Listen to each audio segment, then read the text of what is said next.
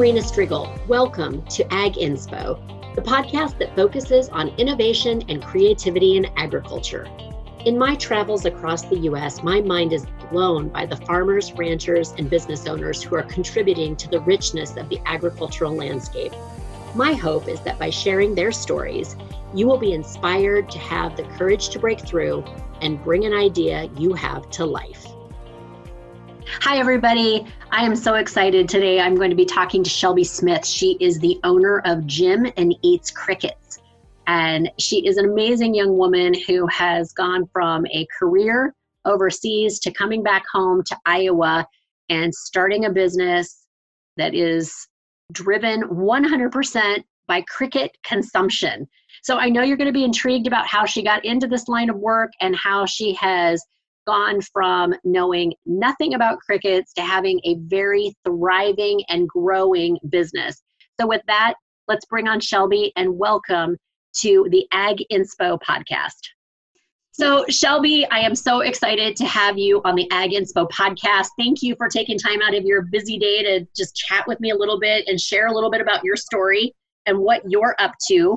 And rather than me try to explain it, I would love if you could just tell our listeners you know, a little bit about yourself, a little bit about your business, and kind of how you got into this because it is so interesting, you know, in terms of, you know, innovation in agriculture. When I heard about your story, I thought, now that is some serious innovation and not something that we're going to run to on every street corner in America, at least until you put your product there. But tell tell the listeners a little bit about about you and your company course. Well, first off, thank you for having me. I'm really excited to be here. Love love to get the opportunity to tell my story.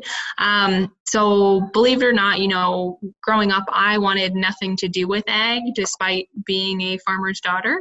So, I grew up on a row crop operation, about 2,000 acres northeast of Ames, and like I said, wanted nothing to do with agriculture.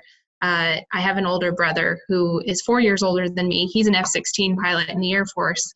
So he was all about ag, you know, driving the tractors from five years old, you know, would ride with my dad all the time, really enjoyed it.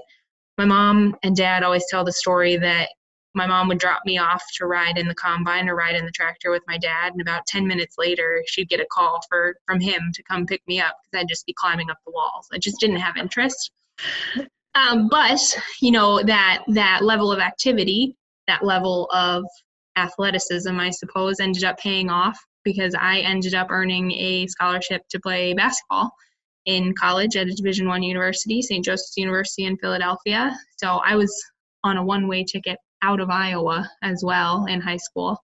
I, I never wanted to stay here, didn't want to stay in the Midwest. So I went out to Philadelphia, played basketball out there, got my undergraduate degree in finance, double majored in finance and financial planning. I'm about one class short on that financial planning. It was a tax course. So it's that time of year right now. Everyone probably understands why I dropped that class second semester senior year. Um, and then after that, I really wasn't sure what I wanted to do but I got an opportunity to go over to Ireland with a program called Sport Changes Life. So it takes former college athletes and brings them over to Ireland, and then it's a three part program. So it's part education. So I have a master's degree from Trinity College in Dublin in finance. Um, it's part you know continuing your playing career so i played in the irish national professional league and then and also for trinity on their college team which was more like a club team but still worked out. And then the third part is the service part. So we coach in underprivileged areas. So hoping to bring the value of the values of sport to these underprivileged areas to hopefully foster some opportunity and some confidence in these kids. So that was back in graduated college in 2013, master's degree in 2014.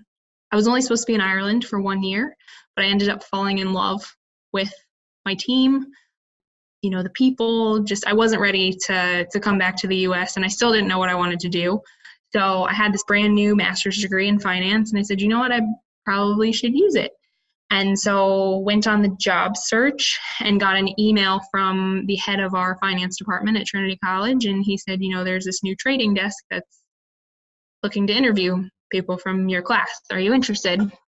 Said sure put me in contact walked into that interview and uh, they said, Hi, do you know what we do? And I said, No idea. They said, Okay, perfect, you're hired. And uh, so it was the National Bank of Canada, and they had just opened a brand new trading desk as their European hub in Ireland. And they brought me on originally as a risk intern. And when I came in, I was the seventh employee, and we had about $30 million in trades on the book, which sounds like a lot, but it's really tiny in the trading world. Fast forward six months, and they had moved me to trading. So I was trading equity derivatives then at that point. And then um, about three years later, when I had figured out that I was really not into the whole finance thing, definitely not into the trading thing, didn't want to be that when I grew up. But uh, by the time I left, we had just hired our 30th employee and had over 10.5 billion on the balance sheet. So we went through a lot of growth in a very small amount of time. And I always say that, you know, cutting my teeth that way was very valuable, um, but it just wasn't something I wanted to do. I really wasn't satisfied doing it. Uh, you know, I wasn't one of those that was going through college with a finance degree with the dreams of working on Wall Street right. or anything equivalent. Uh, is just an opportunity that fell in my lap. So I ran with it. But, you know, it started to get to a point where I was needing to make a decision of whether I continued down that path and then, you know, looked elsewhere. Like, did I move to London? Did I move to New York? Uh, neither of those really appealed either. You know, I grew up on a farm. New York and London are about the two furthest things from that. So I, I, I quit and I said I don't have a plan. And my parents were like, "Well, you can come back and and farm with us."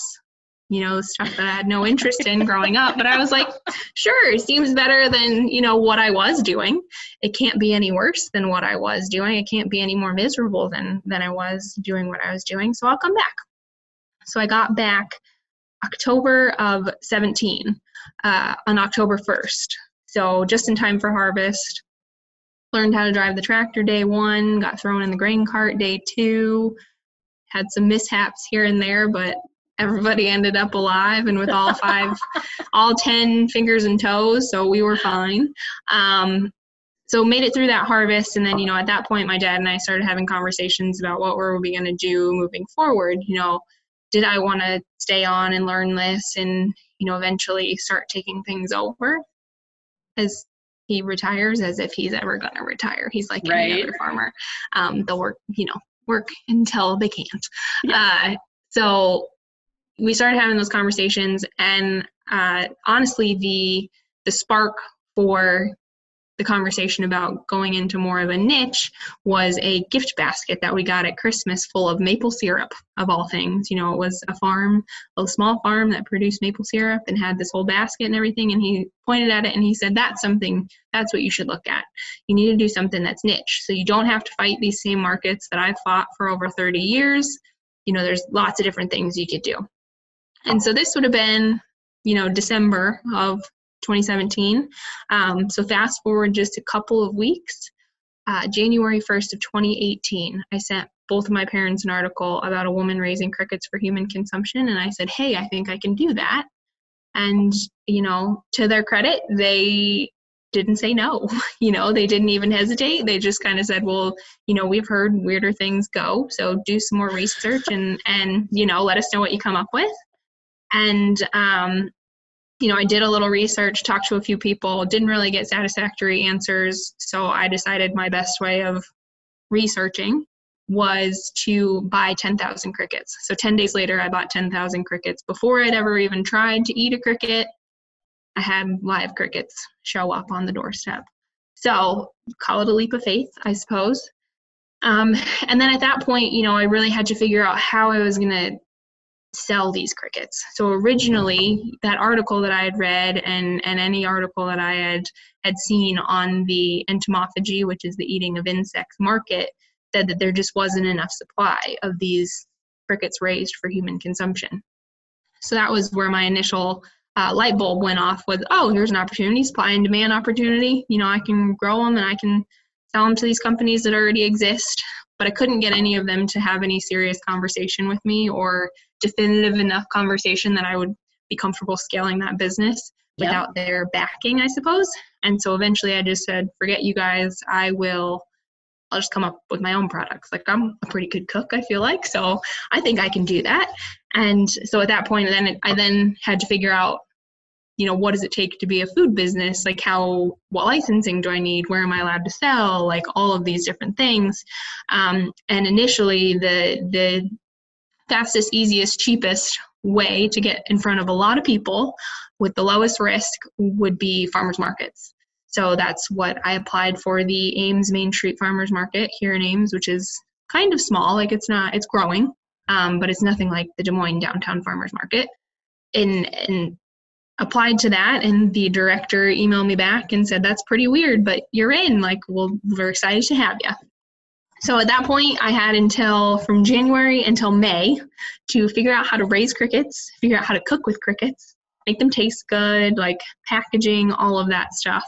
And, um, you know, sitting here would be almost, you know, two years, a little over two years from that time. Now I just look back like the people who bought my crickets originally, I just almost want to go back and apologize to them. Like I, they were in Ziploc bags. Like oh gosh, um, there's a lot of things. If I just sit and look back, I go, oh man, it's it's a wonder anybody bought any of those. But I ended up in 2018, so that first year, selling out of every single cricket I raised in the middle of central Iowa, full of meat and potatoes people that weren't going to like crickets, is what everybody told me. Um, yeah. So, what were so, your original products? So, you have them in Ziploc bags, but what are you selling? Are you selling roasted crickets? Are you selling, like, talk a little bit about your initial products? So, my initial products were roasted crickets, and then I call them protein bites. So they'd be like those energy bites that you can get at some grocery stores and things like that. They were really the bites were really inconvenient to buy and and package and hold on to and all of that. It took me a couple months to figure out that oh, there's a reason you put a protein bar in a bar form. Just makes it easier to package and store and all of that kind of stuff. So those were my two originals. I would mess around a little bit with cricket powder, but because I didn't know what I was doing on the cricket rearing side, I didn't have a whole lot of crickets to mess with, and the powder, the margins just weren't as good. So I most of the time was not selling that, and at any time that I had it, I would sell out of it very quickly because people were very interested in it. So yeah, it was the roasted crickets, and I want to say I started with four flavors but I can't remember. I'd have to go back and look at old pictures. I'm pretty sure I started with four flavors. The protein bites, my goodness, there were some weeks I would have like up to 12 flavors. I was just, it, but it, you know, it's a, it's a, again, it's a low risk. The farmer's market is a low risk way to get a lot of direct customer feedback right away. Mm-hmm. Uh, so that I used it for all it was worth on that one. It's a, it's a great tool in terms of food marketing to be able to test out products in a very low low risk sort of way i guess. Yeah. Um so yeah those were those were my first products. But yeah. So so just talk a little bit about getting set up. So these 10,000 crickets show up in a box i'm assuming or some sort of container and then you have to have a place to raise them. So where did you put your first livestock? Right. Um, so good question. Uh, do you have any concept of like what a two week old cricket looks like size wise no. or anything? I, I'm assuming maybe pretty tiny or maybe not. Yeah, see, I had no con. It, yep, I had no concept either, um, but I found out really fast. And the box that they came in, so they came in a box. There were five thousand in each box, and it was very well taped up and everything there was a reason for that because they're so tiny. As soon as you cut the tape they're everywhere. So i always i always joke that you know i bought 10,000 but i maybe got 6,000 in their houses where they were supposed to be. The rest of them they just became free range. And then of that first breeding stock i got maybe a thousand to the end. I just didn't know what i was doing location wise where i started you have to keep crickets warm. So it needed to be a well insulated space. And um, my dad had a break room in his shop that had been double insulated for noise because you know if you're working in the shop and you need to to go and take a call or something you just step into step into break room and perfect you can hear. Made great home for crickets. So his break room became my first cricket rearing room And so I started with two 18 gallon storage bins that I bought on sale at Tyson's because it was January and you know that's organizing time. So all those storage bins are on sale at that point. I bought a wire rack from Sam's Club, set that up, put my two bins on there, and then fast forward about six months, and I had 10 of those racks smashed in there with about 80 bins. Um, so things expanded pretty quickly. But that was my first cricket rearing space. And then he also conveniently had an office that was upstairs that was tiny. It was like a little closet, but it was also double insulated for noise. And so that became when I grew out of that initial space. And as I couldn't keep up with demand, he sacrificed that office to me. Oh. So yeah, so good dad. yeah, no, he's great. He's great. You know, uh, I could not have started this without my parents. I I started raising them in the break room of my dad's shop, and then eventually the office, and then uh, started cooking them in my mother's kitchen. So you know, they both love me very much, and uh, put up with all the trials and tribulations that have gone on in the past two years. But um, having a support system like that, I definitely don't take that for granted because it wouldn't would not have been possible without them. So yeah, yeah. So you've you've got solid product you're getting some good market feedback you're selling out a product every single week even though you didn't know what you were doing although it sounds like you kind of you you were definitely on the right track if you were selling out every week so then what happened from there what what was the next evolution of your business right so then at that point you know 2018 was over I was looking at it going back to that original thought that I had that there was a supply and demand problem with the crickets. I was running into that same problem of I didn't have enough crickets to keep up with you know the demand I was seeing in the market. So how do I raise more crickets? You know, what do I do? My dad kind of wants a shop back at this point too. So what can I build as my own facility? Even though I'm still only a year in, I'm not entirely certain what I want the setup to look like. So I end up um, my boyfriend actually came up with the idea, but he had to pitch it to me about three times before I got on board, uh, which he would say is totally normal for something, some idea he has. and quick to shoot it down, but I sometimes come around. And uh, so he had the idea of why not use a mobile home, like an old mobile home, because you know there's if it's a mobile structure, you have a lot of flexibility uh, rather than putting down the foundation for a building and then figuring out six months later that you know it just didn't cut it in terms of dimensions all of that it's a, it's a lower risk lower cost way to to expand. And you know there's a lot of junker mobile homes that sit around and then what do you do with them? You toss them in the landfill. Mm-hmm. so here's a good use for one. So uh, at that point ended up tracking down a company that moves mobile homes because I, didn't have one yet, but I figured I should probably go figure out how to move one if I could find one. And the guy who owns it said, Oh, well, I have one sitting in the back if you want it. And I was like, Oh, perfect. um, so I found my mobile home and uh, had the guy drag it to my parents' front yard. Again, it's one of those things they just they love me. Um, and uh, so he dropped it in the front yard. We stripped it down to the frame, uh, basically to the chassis. The frame was still good, the frame was still solid. And then uh, basically built a Morton building on wheels on top, which I call my Cricket Castle. We looked at, you know, just spray foam insulating the existing structure, but with the amount of windows and the, the cost of spray foam, that stuff is really expensive. In order to get the R values and the insulation that we really wanted, um, it just made more sense to just kind of start over and use the base and, and build on top the way we wanted it. So uh, that Cricket Castle was done end of April, I think.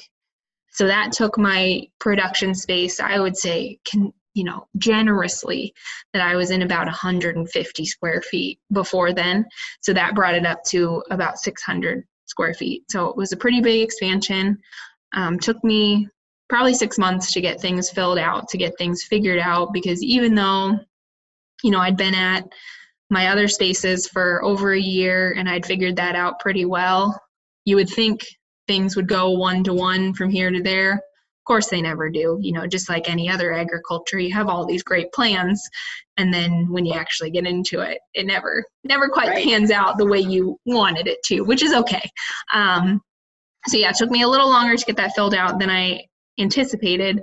But even with that expanded production, I still spent the month of August last farmers market season, so this past fall, sold out with a couple because I, I, took on a couple bigger events took on some night markets. I did the des moines farmers market. So i still wasn't able to keep up with demand. So at that point then i had to make a decision. And i had already started the seeds of the the next expansion plan. Uh, i had already started back when we were building the cricket castle because i had a lot of people interested in raising crickets for me. And i said you know down the road yeah maybe we'll look at it I, I just don't know what that's going to look like quite yet. In March or in August, when I sold out again, I said, "All right, it's go time. Whoever wants to raise crickets, you know, hop on. Let's do this." and we'll see what happens. So at that point, I decided to to look at the expansion through a contract grower model, just like the poultry, just like the swine. That's very common here in Iowa. Same sort of concept. Uh, so that was that was the next step, which was was pretty exciting. So yeah. So you've got your cricket castle. You now are talking to your expansion plan, which are your contract growers. So now you've got bigger production, which would mean bigger production on the food side. So then how have you handled producing more product? Because I'm assuming that your mother has now kicked you out of her kitchen as well. Probably a few too many crickets may have gotten loose in her house, I would imagine. No, no, honestly, we only we only had a live cricket in the house problem once, and that was because so I I put them in the freezer to kill them, and uh, one day I was impatient because I needed I needed to have crickets the next day because it takes a long time to dry them out, and at the time I was doing them in the oven, and so they, I put them in the freezer like maybe two hours before, got them out of the freezer, spread them out on the tray, put them in the oven, you know, the oven was warm. As they started heating up, I saw them start jumping around, and I was going, "That's not good." so I turned the heat up really higher, really high, so that they would they would make it quick. And then since then, I make sure that I freeze them for longer, so that we don't have that same thing occur. That was the only time that we had the live cricket incident in the kitchen. Oh um, gosh. Yeah, only had to learn that lesson once. But yeah, no, thank you for reminding me because as all of that other expansion of the the crickets is going on, um, I also for a food business to get out of of the farmers markets and and legally be able to sell online and in grocery stores and things like that where you start to actually move some real volume and have a real viable business you have to have a food processing license. You have to be licensed by the state of Iowa, you know, registered with the FDA, all of that kind of stuff. So that would require a specific facility, a commercial kitchen, um, things like that. So I had been, you know, for the last year trying to figure out was I going to go rent a commercial kitchen? Could I use, you know, like a community church that's not being used all the time? What do I need? Eventually, I started looking for buildings in small towns to purchase either an already existing kitchen like a restaurant that went out of business or you know a building that could be just renovated into something. And so i started that search in the spring as my cricket castle was being built and, and built out because i knew i was going to have more volume of crickets thought you know this makes sense. Uh, ended up finding a building in the small town of collins iowa which is about half an hour from my crickets town of 500 people, and um, I went. The Ames Chamber of Commerce has a, a an outreach arm that works with all the smaller communities in Story County, and so one of the guys who worked for that department hooked me up with uh, the woman who was selling that building on Main Street. And um, you know, I went and looked at it, and I was kind of on the fence. I was like, it's kind of far away. I'd like something closer. And then the next weekend at the farmers market, the mayor of that town showed up at my farmers market booth and said, "We want you in Collins." And I said, "Okay, I guess I'll go take another look." and so um, went back down, took another look, talked to you know talked to the mayor, talked to some of the council members, and um, ended up purchasing that building the end of June.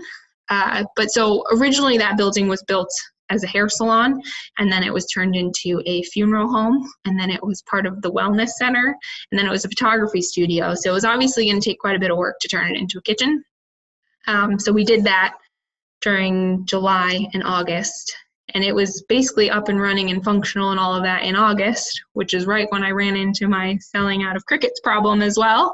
Um, so that gave me a little bit more time to do my paperwork to get the processing and all of that stuff the food processing license all of that submitted um, had that submitted by the beginning of october and then was fully licensed as a food processor by the state of iowa as of the day before thanksgiving last year which then meant you know i could sell online i can sell in grocery stores all of that stuff. Um, so i launched my online store in december and here we are you know middle of february. Since launching that in december i have shipped crickets to 29 states. Wow. Kind of blows my mind. Yeah. So what what in your opinion is the draw to the you know the the cricket protein or an alternate protein? What what are you finding from customers? Is the is it novelty? Is there like what is the what is the consumer draw to that you know, there's a combination of a lot of different things that I think are at play right now. Um, yes, there's certainly a novelty piece to it. I would be remiss if I didn't say that there's a lot of drive coming from that novelty piece. But insect protein, the market in general, is just a growing market. You know, it falls under that alternative protein umbrella. So think, you know, the Beyond Meat, the Impossible Burgers, all of that. It's technically lumped into that same alternative protein, although it is an animal protein. Um, it's one of those overlooked things. People don't typically draw the line of animals at insects, but, you know, three out of every four animal species is actually an insect on this earth. So they're a very abundant animal animal source of protein. But so they fall under that umbrella and um, as of 2018, it was a $406 million market worldwide. Uh, the 2019 preliminary numbers said it was just below a billion, um, and that is projected to be 7.9 billion by 2030. Wow. So yeah, so there's expected to be a lot of growth. You know, 80% of the world's countries practice entomophagy, eating of insects in some form or another. You know, our, our neighbors just to the south in Mexico eat over 500 different species of insects. It's very common elsewhere in the world. It's really just us in Canada and much of Western Europe that don't have it as part of their culture. So, other parts of the world, it's not a hard sell. Um, and honestly, it's getting to be an easier sell here in the West. Partly, you know, there's been a lot of press around it. There, there are people who are looking for alternative protein sources. Maybe they're intolerant of dairy, so common sort of like whey protein and that kind of thing. Um, you know, maybe they have reactions to different kinds of proteins that this is a, another good alternative. There's lots of different pieces to it. There is a, you know, a, a sustainability aspect to it too, because I, I can raise 2 million crickets every 45 to 54 days in 650 square feet. You know whereas you're looking at feeding out a cow for two years your you know hog turns in 240 days or whatever it is. Right, um, when you start looking at just that shrunken timeline it's obvious that your resource intake is going to be lower. It just makes sense. So there's that piece as well. It's very confusing for the vegan and vegetarian community because again where you draw that line of animal not abundantly clear. Um, so I tend to just stay out of that argument and provide them with information and allow them to make their choice. But it, it's led to some interesting conversations. But yeah, so there's there's many different appeals, and again, you know, it's a it's high protein, so it's 70% protein by weight, more iron than spinach, more calcium than milk, has omega 6s and omega 3s, and again, it, it is a complete protein, so it has all nine essential amino acids in one tiny little package. Wow, Wow. So, you know, as you tell the story, it just seems like, oh, Shelby just went from one thing to the next thing, had a couple cricket incidences. Sounds like this was pretty easy. But what was what has been your biggest challenge? Because you're obviously moving into, you know, somewhat of a new industry. You know, obviously we're not finding lots of coaches and mentors of people who have gone before you who are willing to talk to you about it. You've basically had to pull information together. But what would you say out of all of that has been some of your biggest challenges, things you've had to overcome to get to the point you are today? Yeah, um, there's oh, the list is long in terms of of overcoming challenges. I suppose I've told that story so many times. Yeah, it does seem all very rosy and everything's fine, no big deal. Um, you miss the part where I've killed millions of baby crickets on accident because I didn't know what I was doing, didn't know I had a problem. Didn't figure it out until multiple days too late. Uh, they say you aren't a real cricket farmer until you've killed at least 100,000. So I ticked that box really early. Um, there were a lot of things like that, though, from just you know, I come from a finance background. I don't come from an entomology background. I don't, I mean, I, I come from a farming background in so much as I grew up on a farm. Not that I really had interest in it. We didn't have animals. Like I had cats and kittens and, you know, and dogs, but animal husbandry, which is what this is on a micro scale, that wasn't my wheelhouse. Anyone that I would talk to in an entomology department, you know, say here at Iowa State, they're raising insects on a much smaller scale. So while they could help me with some of the basics of understanding some of the, you know, how much food do they need how much water do they need? You know you need to make sure you keep these eggs moist otherwise they won't hatch. They could help me with some of those basic questions but as you start to scale those processes and try to you know have your population densities up and all of those kind of things those are questions they can't answer. I'm on my own for that kind of stuff. So i think you know just having to go through all of that and really go through the growing pains of figuring out all right. First of all how do you raise the crickets? Great. So now you figured that out so how do you do that on a bigger scale? Awesome. Are you now comfortable enough with it that you feel like you could teach somebody how to do it? Uh, that was a really big step for me. And even at this point now continue. So i currently have two growers with crickets on board. Third one comes on in the next 10 days.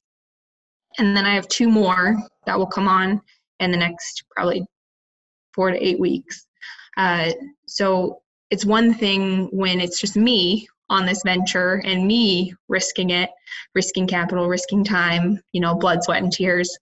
Now I have five other families and I have the weight of those five families on my shoulders.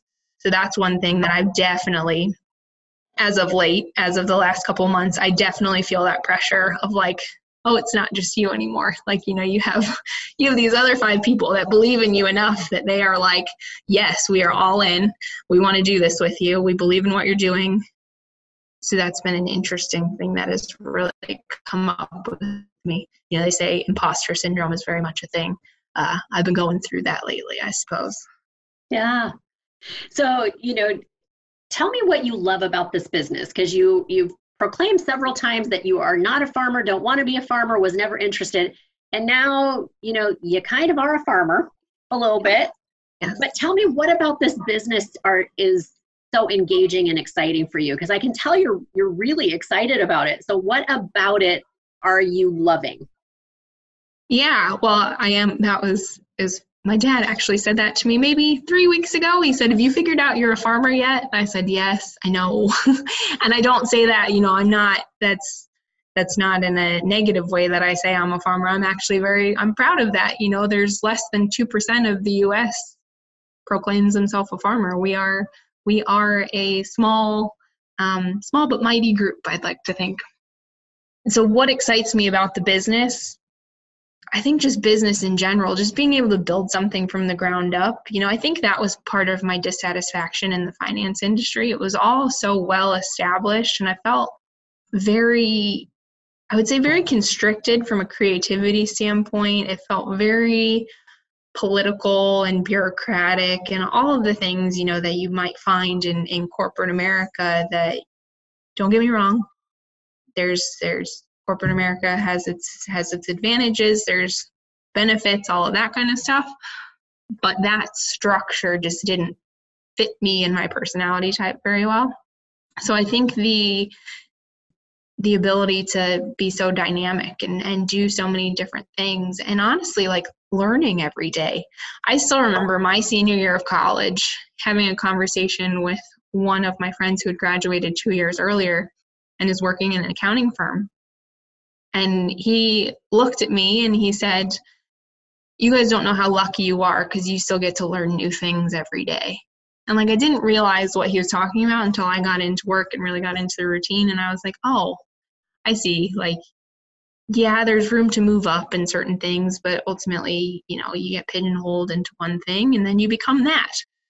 So I've never been one that likes to be put in boxes, I suppose. And so this allows me to in multiple different boxes all at once, which has been pretty cool.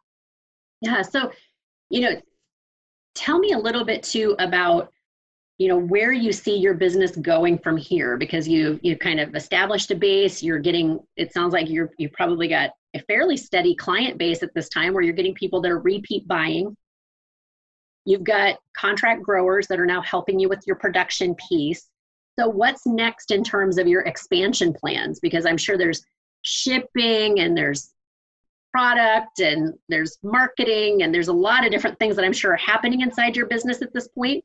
So how where do you see yourself going from here?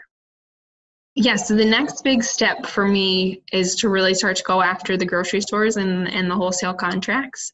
Um, I've had some initial conversations and I've actually gotten some really good feedback. I got my first uh, rejection, if you will, from from a grocery store, but it was really really valuable because what that manager said to me was something that the first grocery store who did agree to put it on their shelves because I actually had customers from farmers markets walking in their door and asking if if they had my product. So that was, you know, that helped. That made it really easy. This other store did not have that. Both stores said, "We don't know where to put you on the shelf." Which was something that I had not thought about I'm not in the grocery business. I really don't know a whole lot about the food business other than I eat three times a day kind of deal. So there's a lot of these nuances that I'm still learning from the marketing side, from just the food, having that finished product. If you want to look at the manufacturing side, I am in my infancy in terms of food manufacturing and tricks and and all of that kind of stuff the food safety regulations the food safety everything that that entails. It's massive it's huge. And as i grow i'm hoping to be able to bring some people on my team either in a consulting role or something like that that are clued in on that to help speed that learning curve up. So there's many a lot of growth in the next year is definitely going to happen as this this production scales up because believe it or not, uh, obviously it takes a lot of crickets to to really be able to have a lot of volume to do these wholesale contracts. But then I also want to do a lot of events. Events have been very successful for me um, because you know most people have never tried a cricket and most people are not just going to walk up to the shelf see a cricket and be like oh i'm going to buy that there's a little bit of an education curve that needs to happen there sampling is always very key have these stickers that say I ate a cricket. And if you try a sample, you get a sticker. Uh, it's a badge of honor. So there's, for me, my food business has to be high touch. So it's figuring out, you know, what events do I want to be at, like RAGBRAI, you know, Ride Iowa, these things where you can do beers, bugs, and bikes kind of deal, like all sorts of things like that, where I can get those eyeballs on my product, get them to try their first cricket so they'll be more likely to be repeat buyers. So that'll be like the first year. And then as we go forward, figuring out how much more we need to expand, you know, getting in stores outside of Iowa. Eventually, ultimately, I'd love to get the attention of like a big food company enough that they're like, hey, we should probably buy you because you know you have the whole infrastructure of the crickets being raised and all that kind of stuff um, so that hopefully at that point I've solved the supply problem for a bigger food company because that's the only way that they're ever going to get interested is if you solve the supply piece because then yeah. they can develop all of their own products and do all of that kind of stuff. Yeah, just give the listeners a little bit of scope because you know we've been talking about, you know, 2 million crickets and just talk about how many crickets does it take to produce something? So just give the listeners a little bit of scope about that. So it's between three and five thousand crickets and a pound of dry crickets. So a pound of dry dry cricket powder anything like that it's three to five thousand. So already you start doing that math you know a million's it's quite a few but it's not going to get you very far as you start looking at more of these mass produced foods and that kind of stuff like the the kind of volume they do just boggles your mind you know if i back that out into crickets it's a scary number Yeah. so yeah. um, like i said in any any any volume or anything like that it, it takes quite a bit so i typically sell them in um, half ounce bags of roasted crickets there's about 90 to 100 crickets in a bag you know again start doing that math and you go through a lot of crickets really fast. So it, there's still plenty of room for growth. I will probably cap my number of growers at 10 for this year just to see where that 10 gets us and then start having those conversations uh, put a list together. Because at this point you know that young farmer conference was the best audience i could have been in front of because those are young farmers always looking for you know diversification opportunities so that was that's been great and i've picked up two possibly four new growers from that so Yeah. So so just just what what does it take to be a grower for you? What what do you have to have to be qualified? Yeah, um, space and a willingness to learn. I, I get a lot of people that say, Oh, I could do this in my basement. I'm like, You could, but I definitely would not. You wouldn't raise a cow in your basement, so I would not recommend doing that either, unless you want your significant other to leave you, which is fine. So you need space, some sort of space.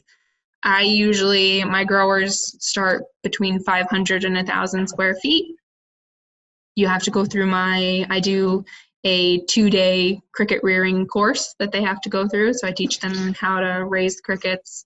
You know, we go through the basics of hatching and harvesting, uh, even from construction of the bins, um, stacking egg flats, which sounds like it wouldn't be very hard, but it is probably one of the more frustrating things people have to learn. So all of those things, I just run them through the basics. They get a a 40 page cricket rearing manual with supporting YouTube videos for everything that I do. Um, what I do, I always tell them what I do is not gospel. Um, if you find a better way to make a mousetrap, where I'm good with that. So there's lots of there's room for creativity in that as well. And then um, we just put the contract in place, and they agree to agree to sell me all their crickets that they raise. I provide all the feed, so that feed bill is not on them. Um, you know that's one of my biggest quality control is my feed because that will directly attack, uh, directly affect the taste of the crickets. Yeah. Yeah. Awesome. Okay, so then so how many products do you have in your lineup now? So now I have um, energy bars. So I have three flavors of energy bars, six flavors of roasted crickets, and then three different sizes of the 100% cricket powder. So those those three are all available on my website. Once I get some of my um, paperwork in place, I suppose I will start experimenting with more flavors of the energy bars. But for now, I gotta gotta stay on the lower end of flavors until I get a handle on on all of my processing facility and and all the tracking and all. Yeah, stuff. so how like in a protein bar, how many grams of protein are you consuming? So it depends on the flavor, but uh, between 10 and 12 grams, I believe, off the top of my head. I'm pretty sure it's between 10 and 12 grams in a in a bar. And then in the half ounce of roasted crickets, there's eight grams protein in a bag. So 14 total grams of weight, and eight of those grams are protein. So Wow. pretty high. Yeah, definitely. Yeah. So, you know, where have you, you know, you obviously haven't been able to find some support, but there was there there's been so much learning. So where did you get all your information? Did were you able to partner with a group or has this just been 100% you just went out and found what you needed to put all of this together? Um, it's been a combination of some things. There, I mean, there are certainly other, you know, companies that exist that are doing this, but because this inter- this uh, industry is in such infancy, tends to be not super open in terms of information sharing, which I suppose is understandable. Like I get that. So majority of the initial gui- guidance and all of that, it wasn't there for me. It was a lot of trial and error luckily you know crickets the life cycle is about 45 to 54 days so very short you can experiment a lot and if something totally screws up you just wait another six weeks and it'll be fine. Mm-hmm. Um, each female lays between five and 10 eggs per day. So it was never a matter of not having babies. You had plenty of them. Uh, it was just keeping them alive, which got to experiment with that a lot too. So there were a lot of things that way. Most of it was trial and error. I obviously took some tips, YouTube. There's a lot of people who own reptiles who they were raising their crickets to feed to their reptiles because they didn't want to buy them from the pet store because they're very expensive. Um, so there was a little bit of guidance there. They had some tricks and tips and some of those. But majority of it, it's kind of like the dark ages. You just kind of had to figure it out. And honestly, though, I think it, it for me, it was better that way. I just learned better. I was more confident in what I was doing because I went through that. And like mm-hmm. I know if somebody comes to me and and gives me an idea on something, I've probably tried it. And so I can tell you why that's not going to work. But try it anyways so you believe me, but you know, I don't think that's going to work. So I think going through it the way I did there there were easier ways for me to scale my food business. I could have gone and gotten crickets from other suppliers, imported them from Canada, imported them from Southeast Asia. But ultimately that wasn't that didn't solve the problem of having a shortage of crickets. You know, many of the companies in the US rely on a sole supplier out of Canada. That to me, as with my finance background and, and just I felt like general common sense through so many red red flags from a risk perspective. Like that is the main um, crucial ingredient in your products, and you are relying on a single source to provide you all of that you better hope a they stay in business and b you stay on their good side you know yeah. otherwise you, you can run into all sorts of problems so i didn't ever want to be at the mercy of just the one person either so I went the harder route and decided to raise my own. yeah. So you obviously, you know, you've had some amazing support from, you know, your boyfriend, from your parents. Um, but a lot of people are probably sitting there going, well, you know, are you working another job? Like, how are you funding all of this? Like, how did you get all of this put together? How did you buy a building? Like, people are like, okay, this is just mind boggling because this is a lot of spinning plates for you. Yeah, no, and it definitely is. I will say I was very lucky to have all of my college and master's education paid for through basketball, which meant I didn't have any student debt coming out of college. My boyfriend played football in college but he played division three so he does have student debt. So he and i get to have this conversation you know very in the face of like it, it's just such an advantage. Like i'm not you know i wasn't strapped down with that. And then i went into a finance career over in ireland you know finance does pay well so i by the time i came back to the us i had some decent savings and then um, again parental support I live in my parents' basement right now. You know, it just is what it is. It's one of those things. It's the price of entrepreneurship. I couldn't do this if I didn't do that. Yeah. Um, hopefully, you know, next 12 months that we can gradually move out of that. But um, you know, it's just one of those things that they they had the space. They were willing to they're willing to let me let me sleep downstairs until I get these things moving. So their support has been has been absolutely critical. So, yeah. And I know, and just recently you participated in the Grow Your Future Award competition with Iowa Farm Bureau. So, talk a little bit about what that was and, you know, that whole vetting process, because that is how I, I found out about you. And I found that whole thing to be fascinating. I was so excited to see that award process, you know, in play. So, talk a little bit about that. Right. So I originally found out about that competition, I think it was in the Farm Bureau spokesman that my dad had been reading and um, I came came home from something and there was a little newspaper clipping sticking there and my dad said you need to look at that. You might be really interested in it. And it was just they were looking for applicants for the grow your future. This would have been last summer. And so the first step was we had to submit a video covering you know these five different things. Submit a, a, video and that would go to a panel of judges and those judges would select top 10 and we'd find out who was in the top 10 and then if you were in the top 10 there would be a public voting portion on facebook to figure out who is in the top six so that public voting portion, I made the top 10, obviously. And then, because uh, otherwise, I don't think we would have ever met. And then, um, so made the top 10. The voting portion was in December and made the top six for that. And then, so then the top six, we got to pitch at the Young Farmer Conference back end of January, beginning January. of February. Yep. And so that was how we got to do get up on stage in front of it was probably 600 people at that was, point between it was attendees. 600 people at that conference yes. it was very yes. large it was very well attended right so um, got to get up on stage in front of those 600 people at, at lunch and uh, give a five minute pitch about our about our business and then i don't know if you did you stay for that whole competition I did, yeah. Yeah, so then, you know, it opened up for a, a, little bit of audience voting there for about 10 minutes. And then, so there was an audience voting portion and a judge's portion. And um, they announced the winners at, at dinner. And I was lucky enough to be selected as as the winner. So that was, yeah, so that was congratulations. Cool. Yeah, that's Thank really you. amazing. Thank so, you. so I have two questions left for you. Number mm-hmm. one, has there ever been a time during this journey that you're like, I was right. I'm not a farmer. Forget these crickets. I am done with this. Have, have did you ever hit a point where you thought it maybe it was time to hang it up?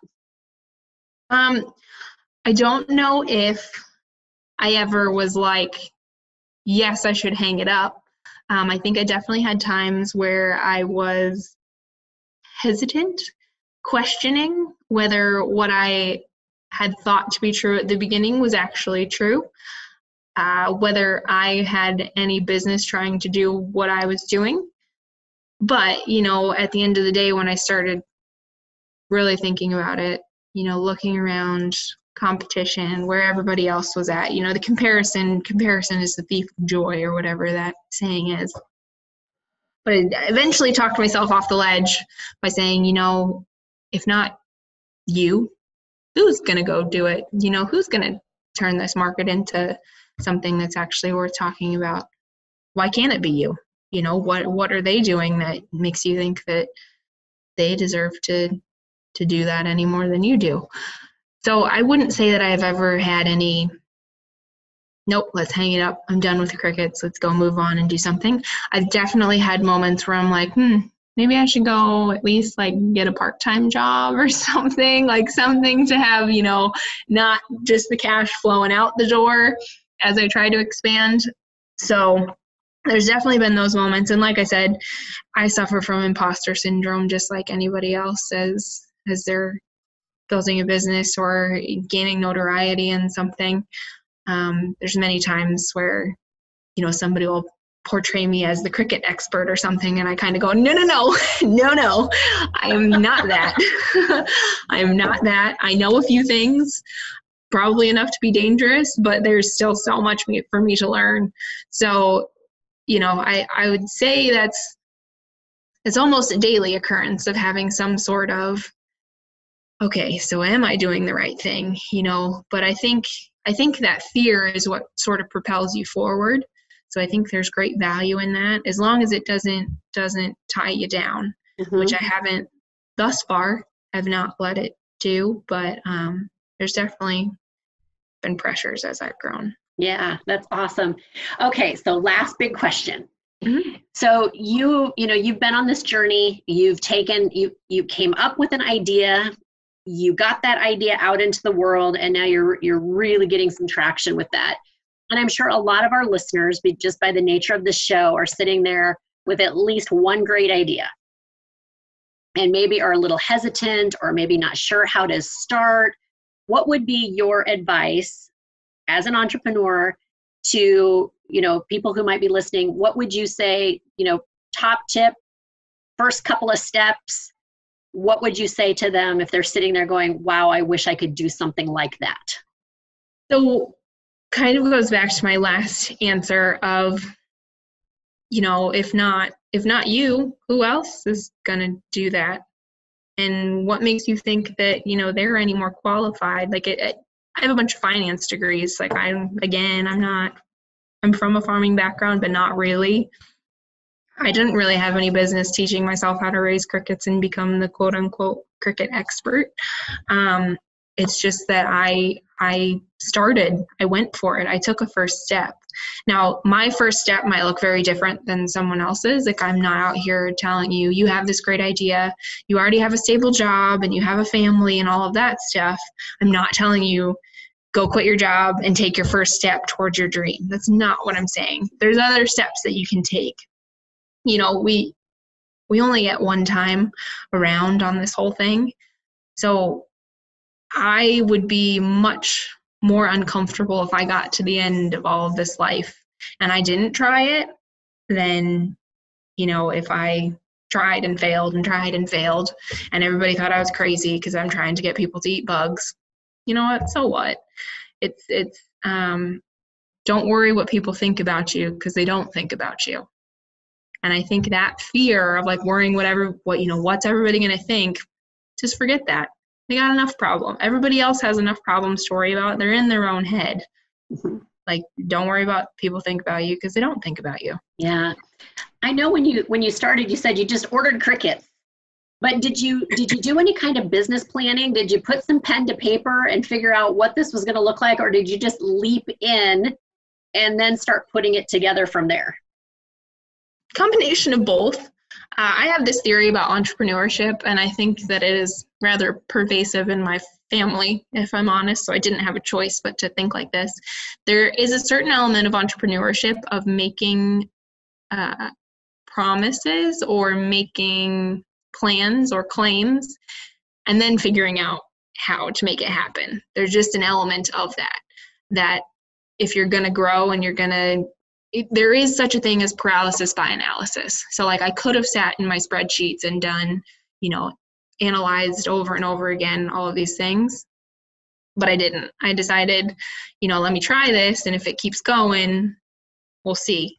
Um, don't worry, since then I've put plenty of pens to plenty of papers um, and figured things out. But at the beginning, that was just the way it had to start. Is it had to I had to start because um, if I sat there and I thought about it for too long, I'd probably talk myself out of it.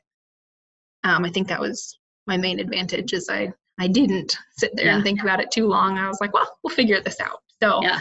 uh, I know that's not everybody's situation, and again, like like I said, I am I am not uh, naive to the fact of, of my situation with the support I have around me, with the lack of student debt, with all of that stuff, that put me in a prime position to be able to to you know go after something like this. And and i know that's not everyone's situation but there's always something you can do. There's always you know always a step you can take. So i'd say just take a step. Maybe not as maybe not the big scary step that you're worried about yet but just a small step. That's awesome. Okay so i know that everybody is listening to this now wants to order crickets. I know they do. I know so i hope you are stocked up so if people want to connect with you or order product or just find out more about what you're doing, tell everybody how they could connect with you. Yes. So I would say on the socials, the best way to connect with me is on Instagram. And my handle for that is at Gym, G Y M underscore N underscore EAT underscore crickets. So Jiminy Crickets. Um, you can also search me on Facebook. I have a Facebook page as well. Uh, I'm not tend to not be as active on there. And then if you do want to order product, you can just visit my website at www.gymneatcrickets, all one word, no spaces, no hyphens.com. And um, and yeah, there's a little shop button, and and as long as you're in the U.S., they can be shipped to your door. And then the other place that you might be able to find me, depending on the week, is I'm actually an admin on the Women in Ag Instagram. Um, some of your listeners might be followers of that. So as part of my admin duties, I do I take over that account for one week a month. Um, so the, that has just women across all sorts of different ag that we do features, we do takeovers, um, but you get a little peek into into what's going on in my world on the weeks that I'm I'm the admin. So Excellent. Excellent. So for everybody who's listening, I know, you know, podcast it's a great thing to listen to a podcast when you're driving. So don't try to, you know, write down that while you're driving or if you're in a tractor, just when you get a second, just click on the show episode. We will have a full um, transcript of our conversation today, along with all of Shelby's contact information. So there'll be links there for you. So don't don't get crazy trying to write this all down while you're driving. And Shelby is going to be excited to connect with you. And Shelby, thank you so much for sharing your story. I am just fascinated about this. I I I'm just so excited for your success and I mean, who would have thought that right here in Iowa, we've added a major new protein source. so that is amazing. And I just wish you nothing but continued success. Congratulations on all you've achieved so far. Thank you so much. Thanks for having me. I appreciate it. Absolutely. This is Rena Striegel, and you have been listening to Ag Inspo, the podcast please visit my website at tomorrowiscoming.com and find me on Instagram, Facebook, and Twitter. If you haven't yet, please go to iTunes and subscribe, rate, and review this podcast. Join me next week for another inspirational episode where you will hear from another amazing entrepreneur who has had the courage to break through and bring an idea to life.